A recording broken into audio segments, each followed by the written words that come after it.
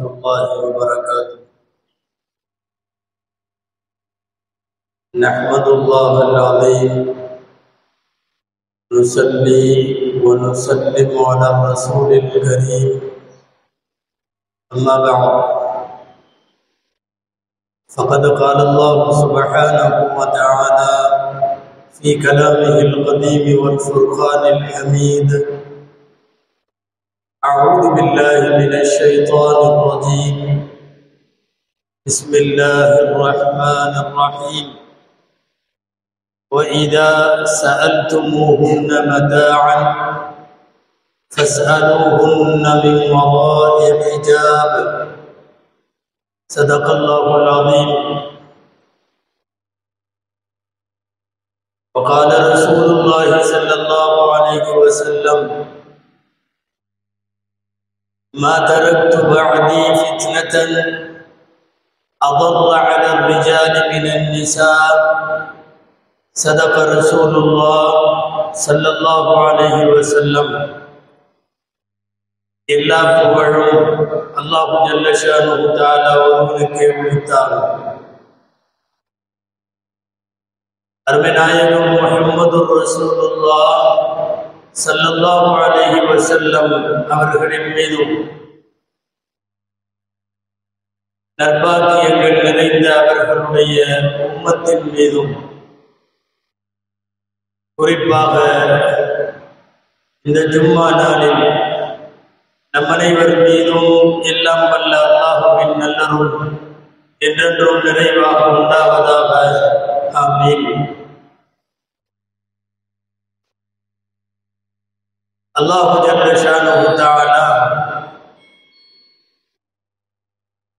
காலங்கள் செல்ல செல்ல மனித குல வாழ்வில் பல்வேறு மாற்றங்களை உலகத்தில் ஏற்படுத்துகிறான். உலகத்தில் கண்டுபிடிக்கப்படும் கண்டுபிடிப்புகள் விஞ்ஞான வளர்ச்சிகள் தகவல் தொழில்நுட்பம் இவைகளின் மூலமாக நல்ல மாற்றங்களும் உண்டாகிறது. மிகவும் கெட்டு போன சீர்கேடுகளும் உண்டாகிறது.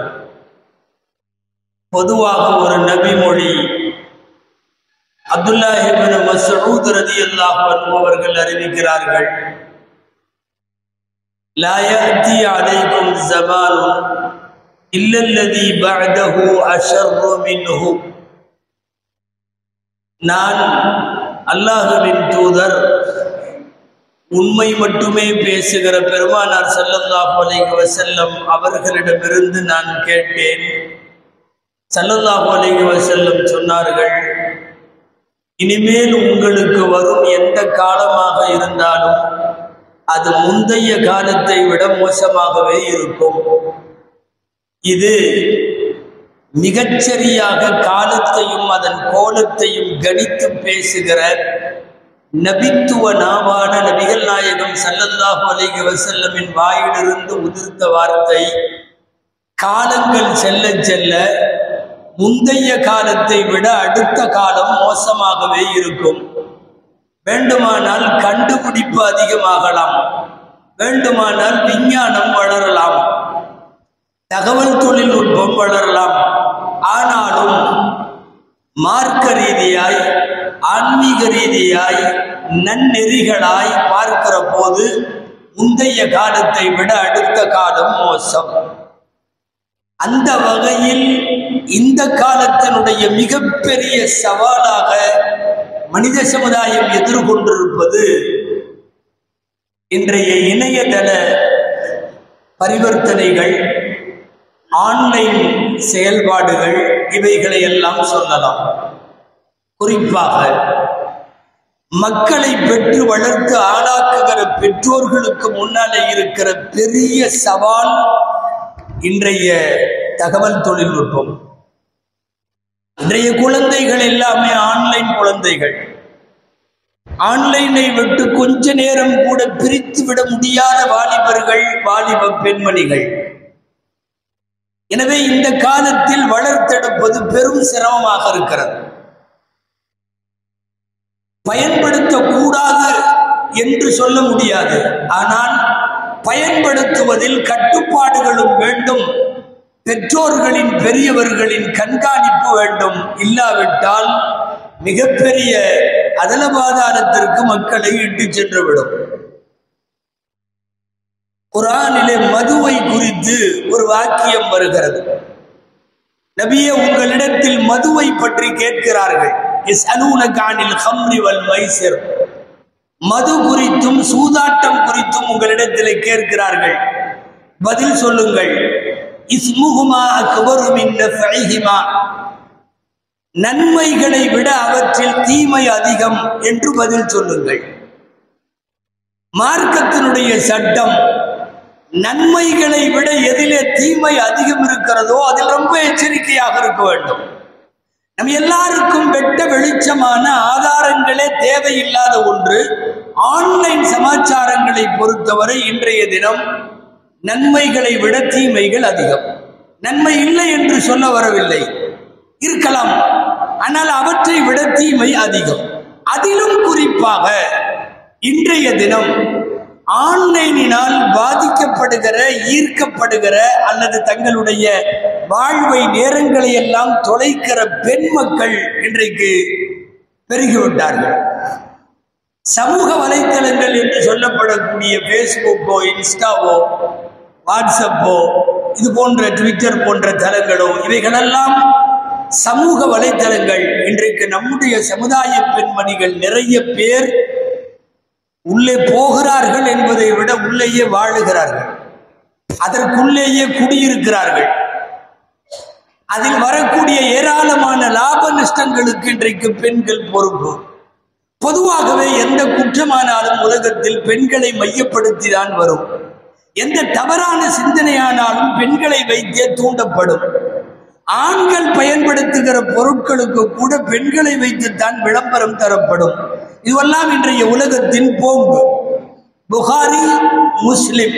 இந்த இரண்டு ஹதீஸ் நூல்களிலும் வந்திருக்கிற ஒரு ஹதீஸ். அல்லாஹுவின் தூதரின் வார்த்தை மா தரத்து பாதி ஃபித்னத்தன் அவர் அலர் ரிஜாலி மினன் நிசா. இந்த உலகத்தில் ஆண்களுக்கு மிகவும் இடையூறு தரக்கூடிய மோசமான ஒரு ஃபித்னா என்கிற குழப்பம் அந்த ஃபித்னா பெண்களை விட பெரிய குழப்பம் எதையும் நான் விட்டு விட்டு போகவில்லை. மொத்தத்தில் பெரிய குழப்பத்திற்கு காரணமாக இருப்பது பெண் குலம் அது சரியான முறையில் கண்காணிக்கப்பட்டு வழிநடத்தப்படவில்லையானால் அவர்கள் கெட்டுப்போவது மட்டுமல்ல எல்லாரும் கெட்டுப்போவதற்கு வழிவகுக்கும். இன்றைக்கு நாம் ஆன்லைன் வழியாக உள்ள பெண்களை பார்க்கிறோம். சில பேர் நாங்கள் கல்வி கற்கிறோம் என்ற பெயரிலே அதிலே உள்ளே இருக்கிறார்கள். கற்றல் கற்பித்தல் பணியிலே ஆன்லைனிலே பெண்கள் இருக்கிறார்கள். அதே ஆன்லைனிலே போய் தீனை தெரிந்து கொள்ளுகிறோம் என்கிற பெயரில் மார்க்க விஷயத்தை படிக்கிறார்கள். மசாயில்களை எல்லாம் அதிலே போய் தெரிகிறார்கள். ஆன்லைனிலே பல பெண்கள் இன்றைக்கு வியாபாரத்திலே இருக்கிறார்கள். ஆன்லைனிலே பல பெண்கள் சமையல் செய்வதை கற்பதை சமையல் கற்றுக் கொடுப்பதை இதையெல்லாம் நடத்தி வருகிறார்கள். இதையெல்லாம் தாண்டி ஆன்லைன் என்பதை ஒரு என்டர்டைன்மெண்ட்டாக பொழுதுபோக்கு அம்சமாக பயன்படுத்துபவர்கள் உண்டு. இதையும் தாண்டி போட்டோக்களை பதிவிடுதல் பேசி பதிவிடுதல் பாடி பதிவிடுதல் ஆட்டம் போட்டு ஆட்டத்தை பதிவிடுதல் இது எல்லாமே ரீல்ஸ் என்ற பெயரிலே பதிவேற்றம் செய்யுதல். அதை சந்தைக்குள்ளே கொண்டு வருதல் அதற்கு பாராட்டுகளை எதிர்பார்க்குதல். என்னை நீங்கள் பாராட்டுங்கள் என்று வாய் திறந்து கேட்குதல். என்னுடைய படத்திற்கோ அல்லது வசனத்திற்கோ ஆடலுக்கோ பாடலுக்கோ நீங்கள் லைக் செய்யுங்கள் என்று கேட்டு கேட்குதல். இது எல்லாம் இன்றைக்கு பெண்களை மையப்படுத்தி ஆன்லைனில் ஒரு மிகப்பெரிய வேலை நடந்து கொண்டிருக்கிறது.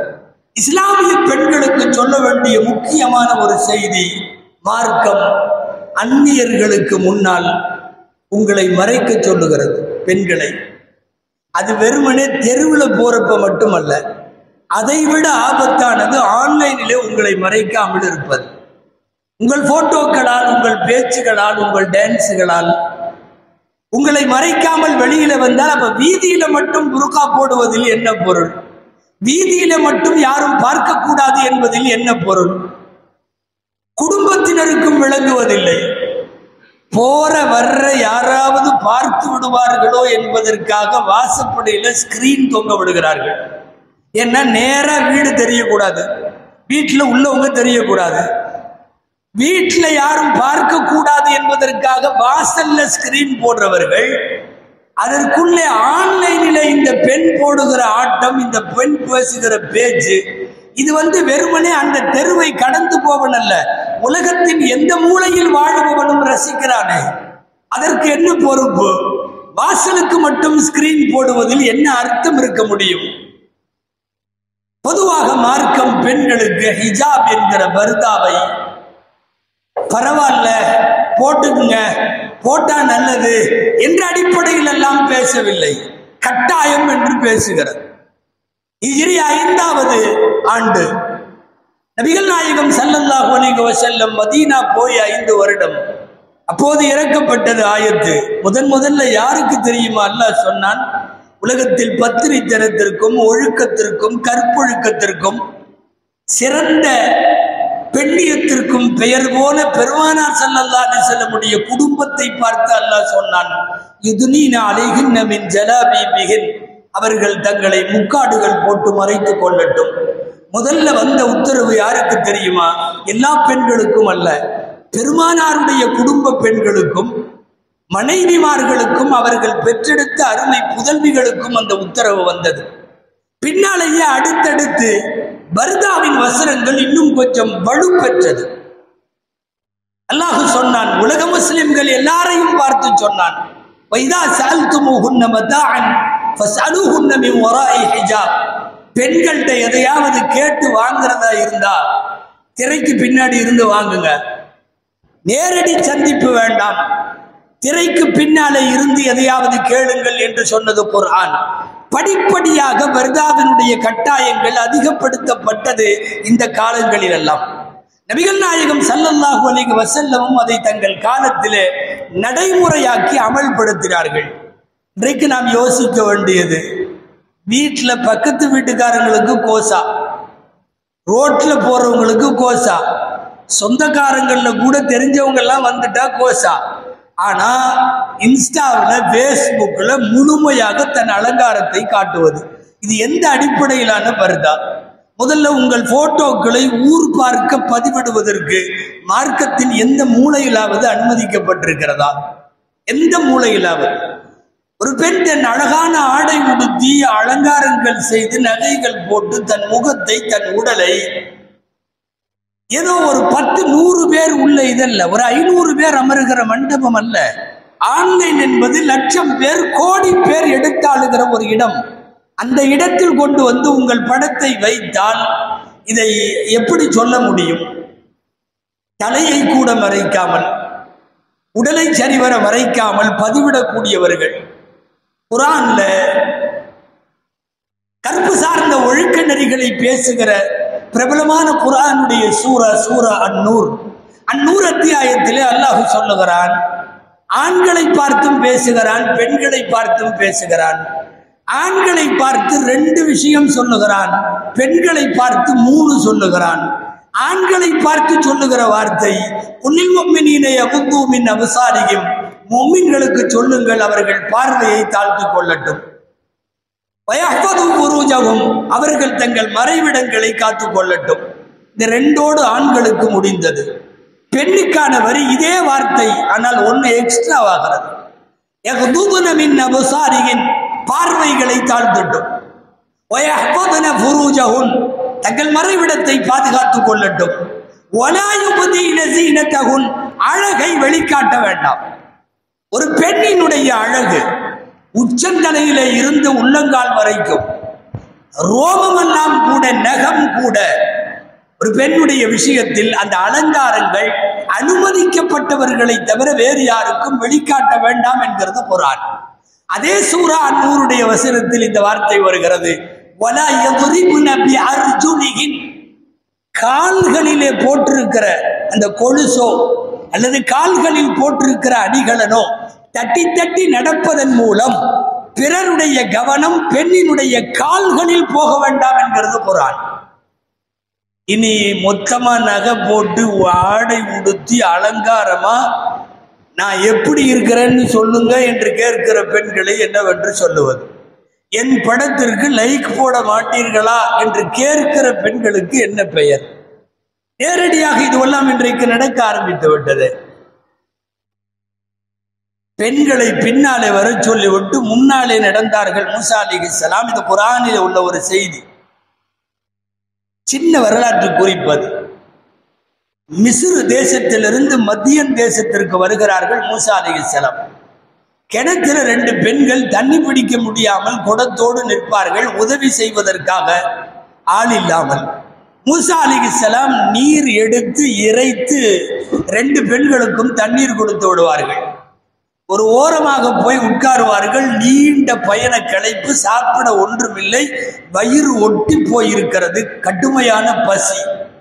ஏதாவது கிடைச்சா பரவாயில்ல என்று இருக்கிற போது அல்லாஹுவிடத்திலே அவர்கள் கையேந்துகிறார்கள். இது எல்லாமே குரான்ல இருக்கு. துவா செய்கிறார்கள். ரப்பி இன்னி லிமா அன்சல்த இளைய மின் ஹைரின் ஃபக்கீர் எல்லாம் இங்க வந்து தங்கி இருக்கிற நான் ஒரு ஃபக்கீரு நான் ஒரு ஏழை. நான் ஒன்றும் இல்லாதவன் அப்படின்னு சொல்றாங்க. இந்த தகவல் அந்த ரெண்டு பெண்களுக்கும் காதிலே விழுந்தது. தண்ணீர் குடத்தை எடுத்துக்கொண்டு தந்தையிடம் வேகமாக போனவர்கள் விஷயத்தை சொல்லுகிறார்கள். அங்கே ஒரு வாலிபர் அமர்ந்திருக்கிறார். கடுமையான பசியில் இருக்கிறார். பெரும் கூட்டத்திற்கிடையில் எங்களுக்கு தண்ணீர் எடுத்து கொடுத்து அவர்தான் உதவினார். தந்தை சொன்னார் அவரை அழைத்து வாருங்கள். அந்த ரெண்டு பெண்ல ஒரு பெண் வருகிறது. அந்த வர்றத அல்ல சொல்றான் தம்ஷி அலஸ்தஹியாஇன் மூசாவுக்கு முன்னால் அந்த பெண் வெர்க்கத்தோடு நடந்து வந்தது. இந்த ஆயத்துக்கு விளக்கம் சொல்ற உமரதி என்று சொல்கிறார்கள் அந்த பெண் முகத்தை மூடிக்கொண்டு வந்தது. முகத்தை மூடிக்கொண்டு உலகத்தில் ஆகப்பெரிய கற்பொழுக்கம் நிறைந்திருக்கிற மூசாவிடத்தில் வந்து எங்கள் தந்தை உங்களை கூப்பிடுறார். உங்களுக்கு ஏதோ கொடுக்கணும்னு நினைக்கிறார் என்று சொல்லுகிறது. மூசா அலிஸ்லாம் எழுந்தார்கள் வீட்டுக்கு போறது. போகும்போது சொன்னார்கள் எம்மா நீ முன்னாடி நடந்து நான் பின்னாடி வரக்கூடாது. நீ என் பின்னாடி வா. நான் முன்னாடி போறேன். நீ எனக்கு வேணும்னா வழியை மட்டும் சொல்லு. லெஃப்ட் ரைட்டுன்னு சொல்லிட்டு வந்தா நான் போயிருவேன். இம்ஷி ஹல்ஃபி இது தப்சீர்ல வர்ற வார்த்தை துல்லீனி அல தரீக். எனக்கு பின்னாலே வா. வழி மட்டும் சொல்லு. ஃபஇன்னா பைத்தின் லா நாங்கள் நபிமாறு குடும்பம். நாங்கள் பெண்களை பின்னால் இருந்து நடந்து வந்து பார்க்கிற பழக்கம் இல்லை. நான் முன்னாலே போகிறேன்.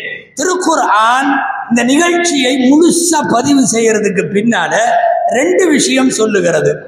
சந்தர்ப்ப சூழ்நிலைகளில் ஒரு ஆடவனோடு பேச முற்படுகிற போது ஒரு பெண் எவ்வளவு வெறுக்கத்தோடும் பத்தினித்தனத்தோடும் அவள் நடந்து கொள்ள வேண்டும் என்பது அந்த பெண்ணில் இருந்தும் ஒரு பெண்ணோடு தனித்து ஒரு இடத்தில் நடக்கும் சூழ்நிலை வருகிற போதும் அந்த பெண்ணை ஏறெடுத்து பார்க்காமல் இருக்க தாங்கள் முன்னாலே நடந்து பின்னாலே பெண்ணை வர சொல்ல மூசாவினுடைய ஒழுக்க மாண்பும் இந்த ரெண்டையும் குரான் சொல்லுகிறது.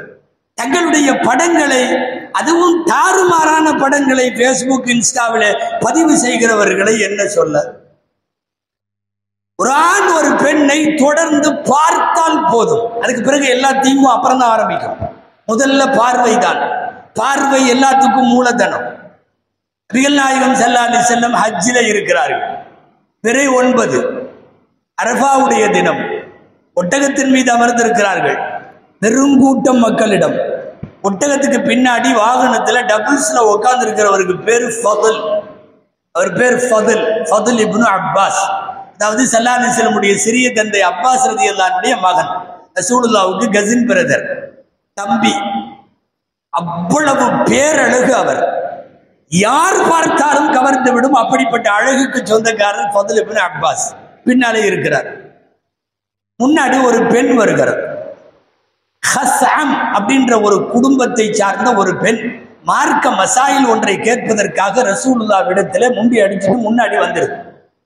வந்த இடத்தில் மசாயில் கேட்கிறது. பின்னாடி இருக்கிற ஃபதில் அமர்ந்திருப்பவரும் பேரழகு. ஹசாம் குடும்பத்தை சார்ந்த அந்த பெண்ணும் பெரிய அழகு பேரழகு. இவர் அந்த பெண்ணை பார்க்கிறார். பார்ப்பது என்பது எதேச்சையாக ஒரு தடவை பார்த்துவிட்டு பார்வை நகர்வது வேறு. அது இயல்பு. பார்வையை அழுத்தமாக உற்று பார்க்கிறார் பின்னாலே அமர்ந்திருந்தவர். அந்த பெண் இப்போது பேச ஆரம்பிக்கிறார். ஏதோ ஒரு மசாயில் கேட்க வந்தது. இன்னாபி ஷேகன் கபீரன். அல்லாவின் தூதரே என்னுடைய தந்தை வயசானவர். அலர் ராஹிலா வாகனத்துல உட்கார்றது கூட சக்தி இல்லை. அவர் மீது ஹஜ்ஜு கடமையாக இருக்கிறது. வாகனத்துல ஒட்டகத்திலேயோ குதிரையிலேயோ அவர்னால உட்காரவே முடியாது. அப்ப அஹஜ்ஜு அன்ஹு அப்ப அகதி அன். நான் அவருக்கு பதிலாக ஹஜ்ஜு செய்யலாமா? அப்படின்னு அந்த அம்மா கேட்குது நபிசல்லா அலி செல்லம் கேள்வியை கவனிக்கிறார்கள் பெண்ணை கவனிக்கிறார்கள். அந்த பெண்ணை நோக்கியே போய் கொண்டிருக்கிற இந்த ஆடவனுடைய பார்வையையும் பார்க்கிறார்கள். புகாரியில வருகிறது.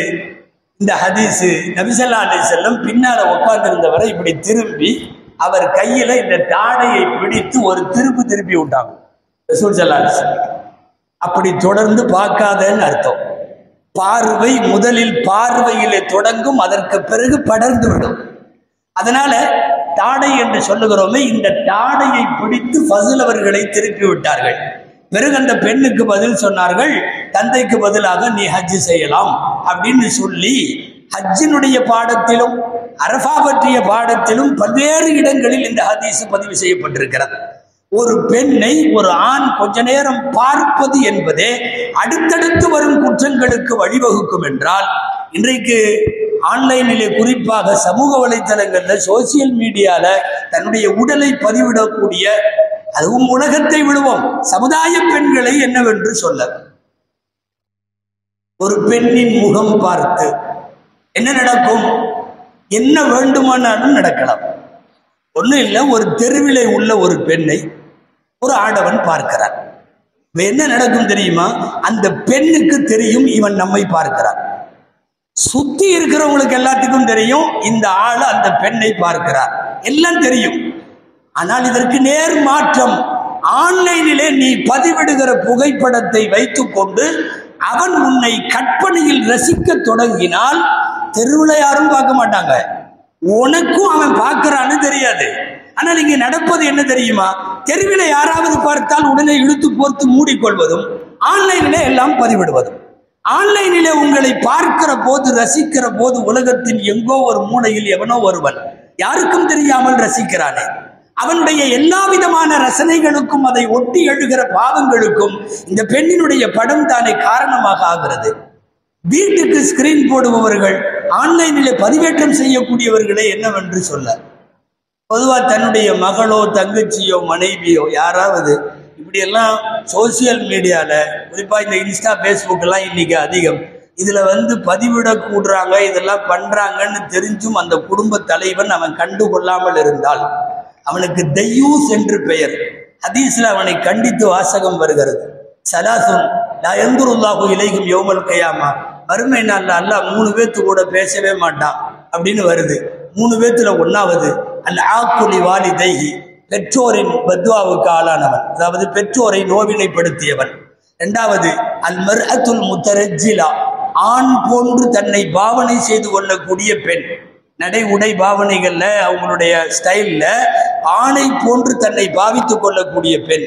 மூணாவது ஒரு வார்த்தை ரசூல்லா சொல்றாங்க தெய்யூஸ் தெய்யூஸ்னா என்ன அர்த்தம்?